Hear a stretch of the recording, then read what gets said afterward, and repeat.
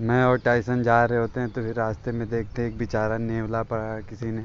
इसके पीछे गाड़ी चढ़ा दिए थे ये मर गया बेचारा। ये देखिए, किसी ने इसके ऊपर गाड़ी चढ़ा दी थी। मर गया।